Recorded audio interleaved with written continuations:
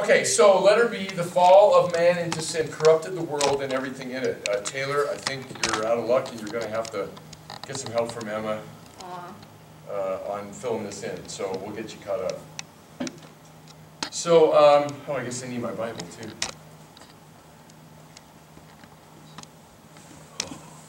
Not nearly low enough, I know. Too old to bend down any farther. You made it out for the most part. For the most part.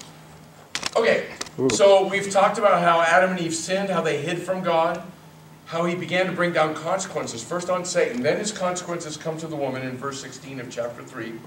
So the woman, he said, I will greatly increase your pains in childbearing. With pain you will give birth to children. So up until this point, having a child would not have been so traumatic and painful. Uh, and, and every time I've taught this class with moms, they go, oh, that would be so nice. I mean, it's joyful for them anyways to have a baby, but to do it without pain would be fantastic. Your desire will be for your husband, and he will rule over you. Now, that doesn't sound like a curse, does it? Your desire will be for your husband. But that Hebrew word for desire is only used three times in the entire Old Testament. Once in a positive sense, way in the middle of the Bible. Twice right here in Genesis. Once in chapter 3, once in chapter 4.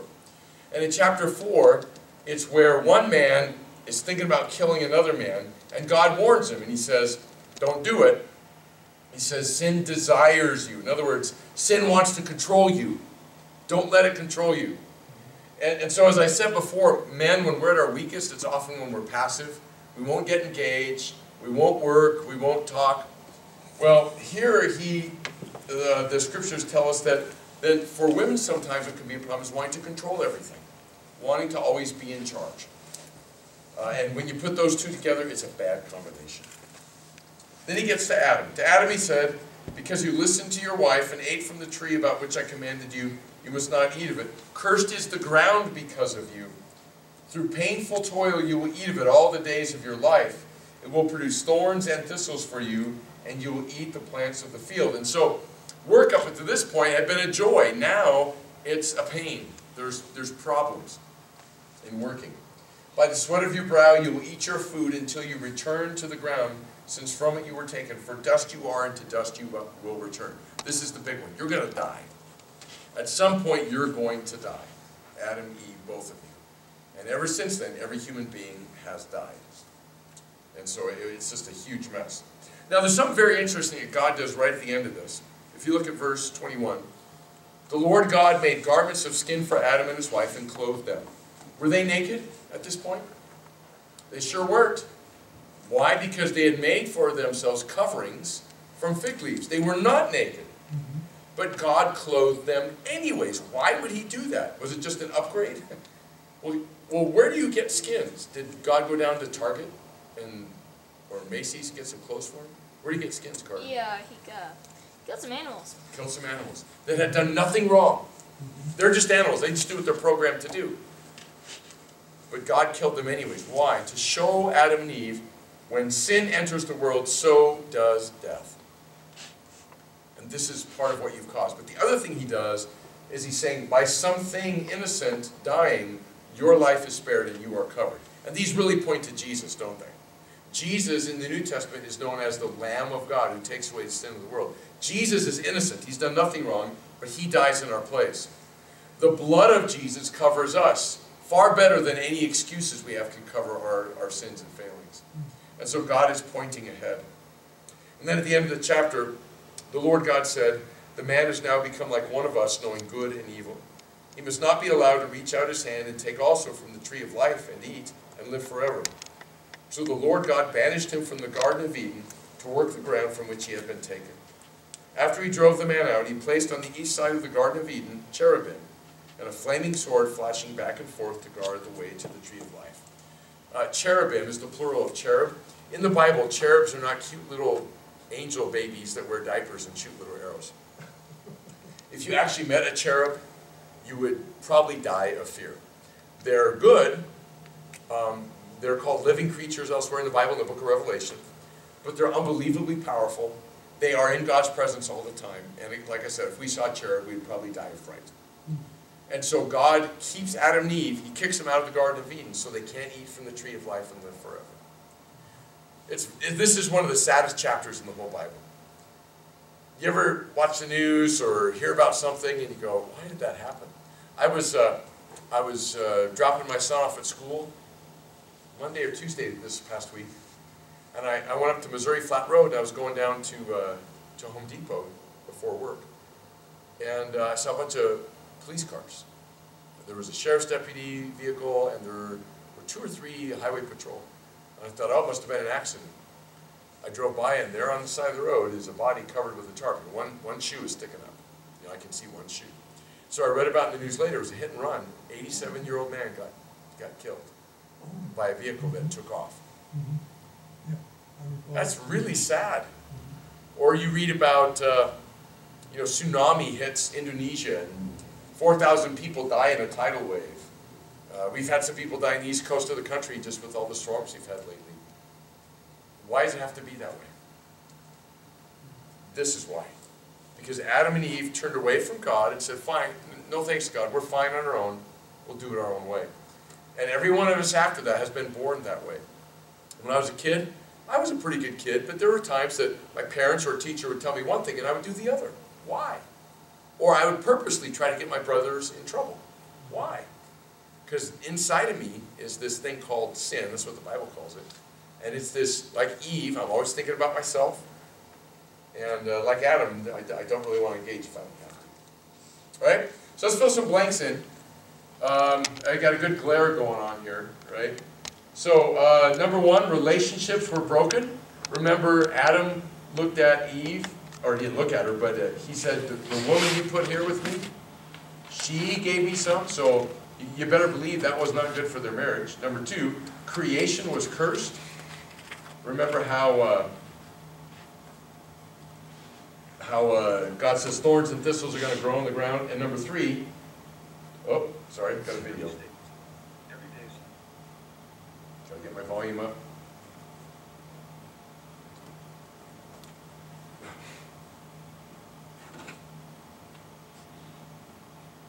It's madness.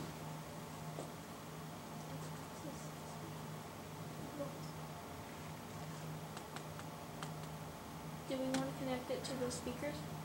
I've tried that before, it's usually not necessary. If if it's, if it's not good, then I'll do it next time. Okay. You hear these statements a lot. Every day something tragic happens. A child dies. Cancer takes another life. An earthquake kills thousands. It forces people to ask the question, if God is loving and merciful, why is there pain and suffering in the world? Well, that's a good question. And thankfully, the Bible sheds a lot of light on this subject. Check this out. In the beginning, God created the heavens and the earth. That's the declaration of the very first verse in the first book of the Bible, Genesis. The next couple of chapters explain in broad terms what God made over the course of the six literal days he used to complete his creation. Light, the sky, plants, animals, and humans. That's right. God created everything, and according to Genesis 1:31, he saw everything that he had made, and indeed it was very good. That is, it was complete and perfect. There was no death and no suffering. There was no survival of the fittest. Animals didn't attack and eat each other. Adam and Eve, the first two humans, did not kill animals for food. Genesis 1:29 through 30 makes it clear that man and animals ate only fruits and vegetables. So the original creation was wonderful, peaceful, without death, full of life and joy, and all enjoying the presence of God, the Creator. So what in the world happened? How do we get from there to here? Well, something drastic must have happened that altered the original creation, and that something was sin. Remember, God created a perfect world and placed Adam and Eve in paradise. As their creator, he had authority over them, and in his authority, God gave them a rule. In Genesis 2:17, God said, "But of the tree of knowledge of good and evil you shall not eat, for in the day that you eat of it, you shall surely die." Well, Adam and Eve heard the rule loud and clear, but they willfully disobeyed it. They ate from the tree God told them not to. They chose to live by their rules and separate themselves from God. So the Creator kept his promise that punishment would follow their disobedience. With the rebellious act of one man, sin entered God's creation and death along with it. But the effects of sin didn't stop there, because God had given dominion over all of creation to man in a very real sense. The sin of man affected all of creation. In Genesis 3, we see the beginning of a cursed creation. Thorns and thistles were now part of the world, as well as pain and suffering and death. The world was no longer perfect. It was sin cursed. And that's why tragic things still happen today. And before we give Adam and Eve the full rap, we have to realize that all of us still willfully sin against God. That should make us really pause and think. But for now, at least on this topic, enough said. I like those videos in part because I finally found somebody who talks faster than I do. Good. There, good, yeah. So relationships were broken, creation was cursed, man's fall was complete. We need a Savior. We got problems. Uh, years ago, they came up with that commercial for uh, the first aid buttons that you wear around your neck, right? I've fallen and I can't get up. Well, here's a cartoon. Help, I've fallen and can't get up. Sin and corruption open year round. Every single human being is in that case. And understanding this makes a huge difference on how you deal with suffering and death in your life. For example, look at this guy. Uh, someone he loves died, maybe his wife or a child, and he goes, Some God of love you are, why did you do this? It's your fault, God. Now that's if you believe God is responsible for pain and suffering. But if you recognize, wait a minute, I brought this into the world. I'm part of the problem.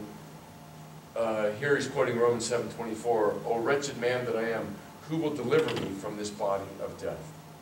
Absolutely changes the way you look at suffering in your life. You know, all of us suffer. Every single human being. And some of us suffer when we're young, some old, some in the middle. It's going to happen to everybody. Sorry to burst your bubble, but that's the way it goes. And so we had better have a handle on this uh, as, we, as we look at life. So what did God do about this big mess? God so loved the world that he gave his only son. Remember Genesis 3.15? We read that. Someone's going to come and stomp on the head of the serpent. That's what Genesis 3.15 says. And so here's one artist's recreation. Uh, that God covered them with skins. The Bible doesn't say what kind of skin. This artist said, I think I'll make it a lamb because that reminds me of Jesus, the Lamb of God who takes away the sin of the world. But you can imagine Adam and Eve, they're now clothed with these skins of an animal, and they're looking and realizing, that animal had to die for me. And that's exactly what Jesus has done for us. One of the most moving services for me every year is Good Friday. Because on that evening, I remember God had to die for me, because I'm a wretched sinner. And it really puts things in a much healthier perspective. Uh, so who is Jesus? We're going to talk about him for a while. Jesus was God's solution to a cosmic dilemma. So God's got two, two parts of his character that seem to be at odds here. Let's take a look at them. His first, um, the first part of his character is his justice. Anybody know what the word justice means? Carter, what's the word justice mean? Uh, like to make right. Yes, exactly. It's all about making things right. And so is God perfectly right? And does he always make right decisions? Of course he is. So his justice said, okay, there's sin, there must be there must be justice, right? That is what should happen. and so that's how God uh, is in respect to his justice. But on the other hand, God's love called out for mercy. And so God is perfectly just, but he's also wonderfully merciful. Oh, and so instead of getting uh, justice, we get mercy through Jesus on the cross. And we're going to flesh that out a little bit now uh, as we go along. So what, what can we learn about Jesus? Jesus coming was supernatural. And all that means, the word supernatural, all that means is above nature. In other words, it, it goes beyond the laws of nature. Um, and so here's a drawing that's kind of confusing if you've never been like uh, exposed to stuff in the church. This is supposed, they, they, I bought this thing, it says, uh, Green Pointer works on TV screens. Nope. Nope, it doesn't. So if we start over on the left side, all this is is a picture that goes through the steps of what we call the Apostles' Creed. The Apostles' Creed is a statement of faith. So, and I believe in Jesus Christ, who was conceived by the Holy Spirit. So we have a symbol of a dove. The dove uh, symbolizes the Holy Spirit. Let me get over here. So, conceived by the Holy Spirit, born of the Virgin Mary. We celebrate that at Christmas. Suffered under Pontius Pilate. This is a Roman uh, flagellum. They would whip people with those. To me, it always looks like firecrackers, but that's not what it is. So suffered under Pontius Pilate, was crucified, died, and was buried. Okay, uh, died and was buried. Uh, when Jesus died, the temple curtain was torn in two. There's his tomb. Then he descended into hell. But this is not part of his suffering. Why is that? Because what did Jesus? Yeah, Carter. Uh, when he descended into hell, he was basically going down and telling the devil, "Hey, I won, you lost." That's right. And we know that because on the cross, right before he dies, Jesus says in a loud voice, we're told, It is finished. He doesn't say, I'm finished. He says, It is finished. My work, I've done it. I've paid for all the sins of the world. It is finished. And then he dies. His descent into hell, we're told in the Bible, he went to preach. There's different words for preaching. This is not the word for preach the gospel. This is the, the word to make an announcement. Just like said, I've won. I did what I said I would do. Uh, so he uh, crucified, died, buried, descended into hell. On the third day, he rose again from the dead. He ascended into heaven. He's at the right hand of the Father. And someday he's coming to judge the living and the dead. And they have a picture of a sheep and a goat up there because Jesus tells a, it's kind of a parable, where he says, When I return, I'm going to be like a shepherd who separates the sheep and the goats. We'll talk more about those details, but this is a summary, okay? So here's, I have cartoons in here. Uh, here's the Magi coming to find the, the, the young Jesus. It's around here somewhere, any kind of flashlight, typical men, right? They, if they had, only they had GPS. There's no woman to talk to. There's no one to tell them how to get there, that's right. Okay, so what do we learn about Jesus? Letter A, Jesus is true man through the virgin birth. He actually had uh, a, a mother. Her name was Mary. Number one, he grew in wisdom and stature. So Jesus had to grow up. This is one of the things I love. Jesus could have just shown up as a 30-year-old, right? Yes, But he didn't. Mm-hmm. He, he showed up as a, as a baby, as an embryo. I mean, Jesus spent nine months in Mary's womb, and he was born. And then he had to grow up, and I don't know, did the neighborhood bully pick on him? We, we don't know. But he had to learn to speak, he had to learn, learn to walk, and all those kinds of things. Number two, he had a family.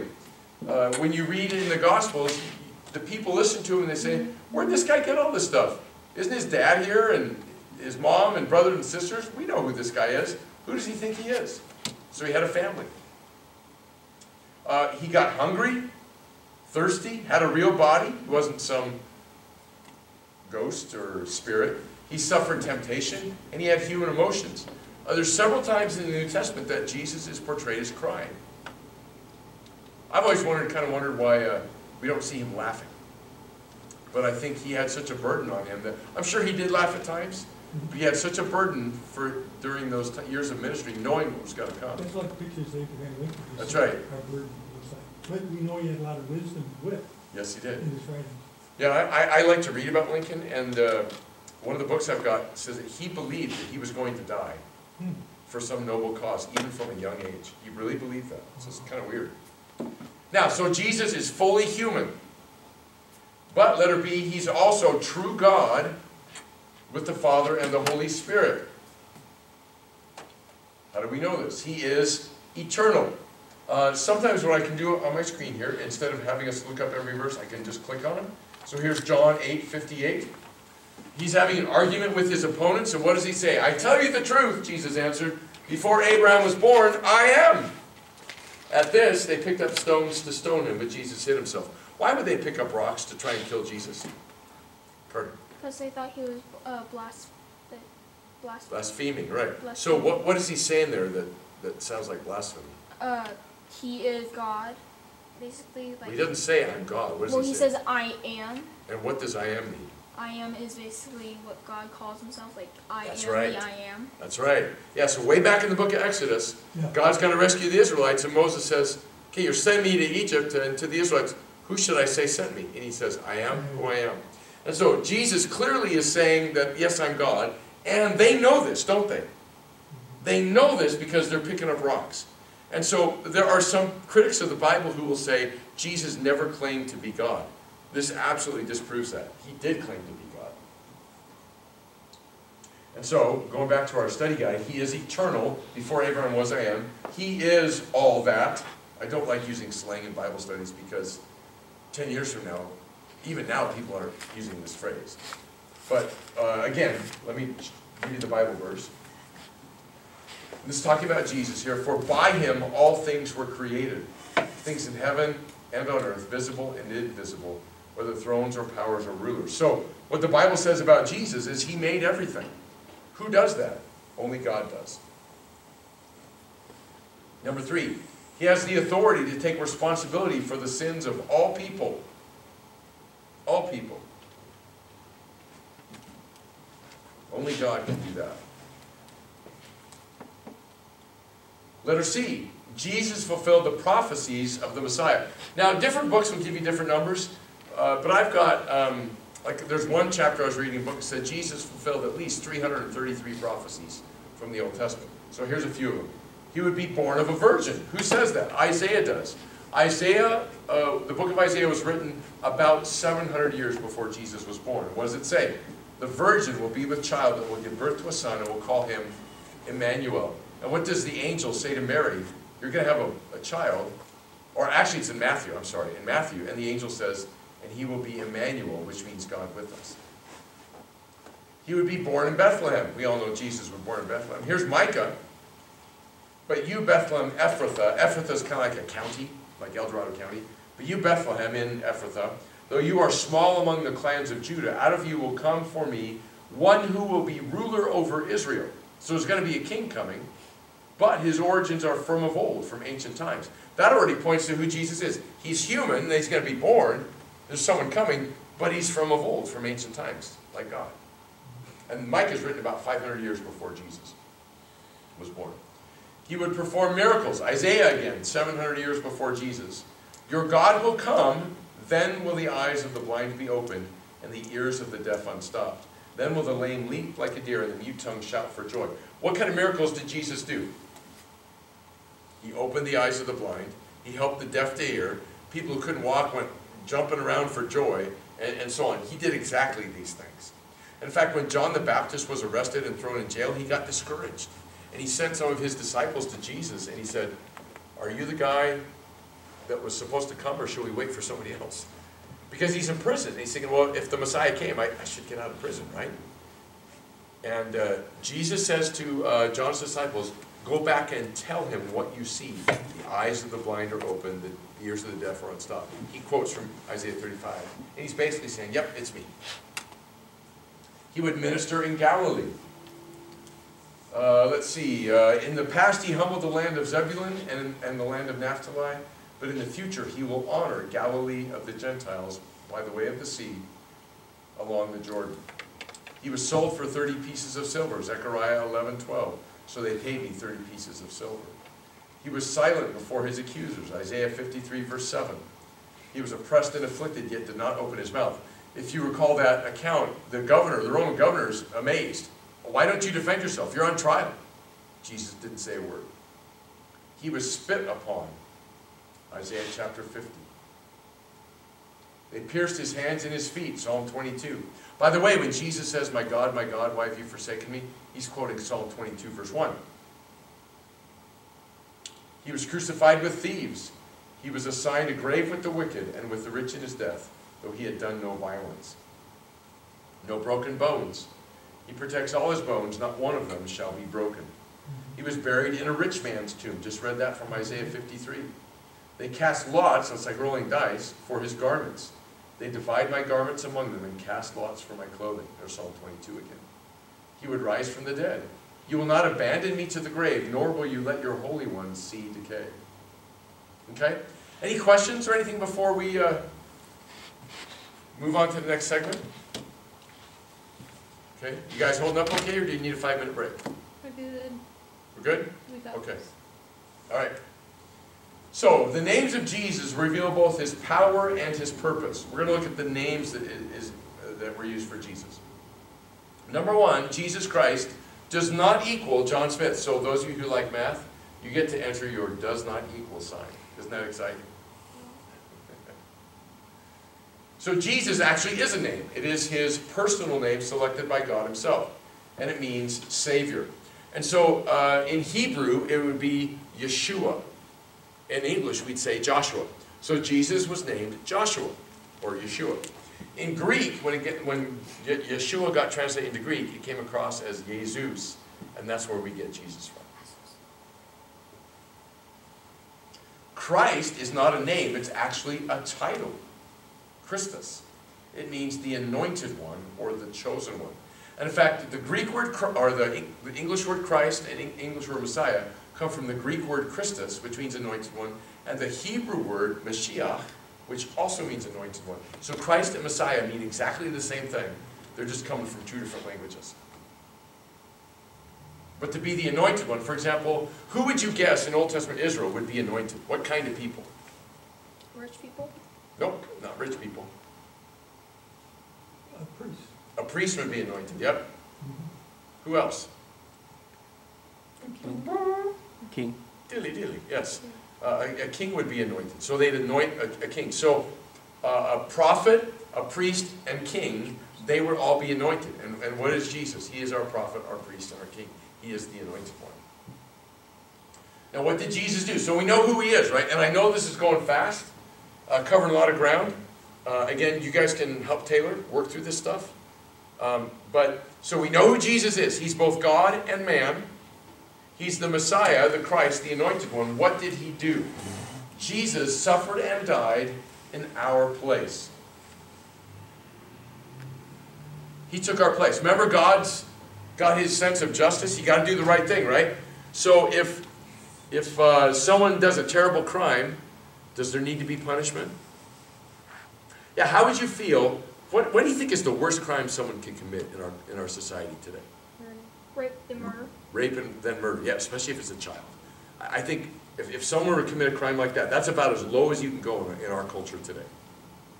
Can you imagine if, if somebody did that and they, the police caught him and uh, they do the trial, right? And, and he says, I, I don't want a jury, I want, a, I want a judge to decide my fate. So they do the whole trial and they finish the trial. And so it's time for sentencing. And the judge says, okay, well, we have DNA evidence that places you at the scene of the crime. Um, we have eyewitness evidence that saw you leaving such and such a place with the victim. Uh, you have a pattern of this behavior, this type of behavior before. But you said you're really sorry, so I'm going to let you go. What do you think would happen? He would do it again. There, well, I think there'd be a lynch mob. I don't think he would do it again. I think he'd get killed. And probably the judge, too. Because we would all be outraged. It's obvious the person is guilty. He's stone cold guilty. He did this terrible crime and murder. He deserves to die, or at the very least, have a life sentence with no chance of parole. And the judge just let him go because he said he was sorry? That would be so wrong. And, and so when we look at humanity and the crimes that humanity have committed, the lies we have told, the hurt we have caused, the murders we have committed, on and on and on. There's no way that God can just go, well, it's okay. Yeah, it's okay. What kind of a judge would that be? A lousy one. And so, um, for God to have justice satisfied, He can't just say, I'll just pretend it didn't happen. And so somebody had to die. The wages of sin is Death. death. And so Jesus did that for us. So he suffered under Pontius Pilate. Now, I'll tell you, um, I like to, in this class, talk about how people used to question the Bible a lot. And they still do. But there are people who said, you know what, Pontius Pilate never existed. Because the only record we had of him was in the Bible. And that was true for many years. But then, I believe it was in 1961, they found this. Right? Now, what is this? This is part of a building. It's a dedication stone for a building in a, a town called Caesarea, which is on the coast of the Mediterranean, west of Israel.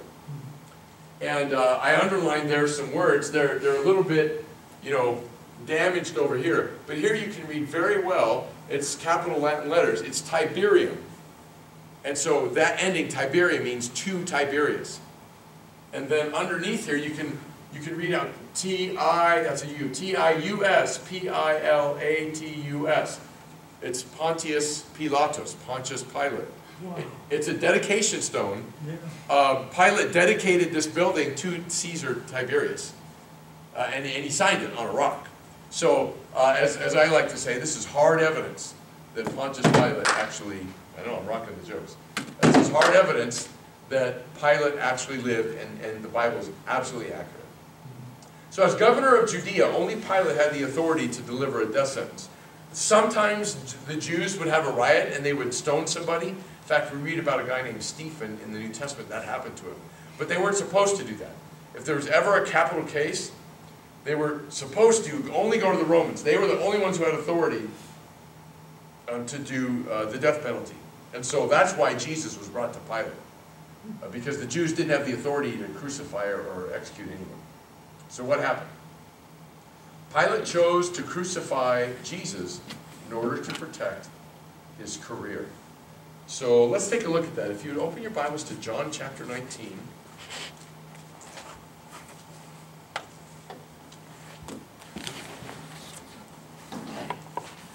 That's going to be on page 1070. three, one zero seven three. Page one zero seven three.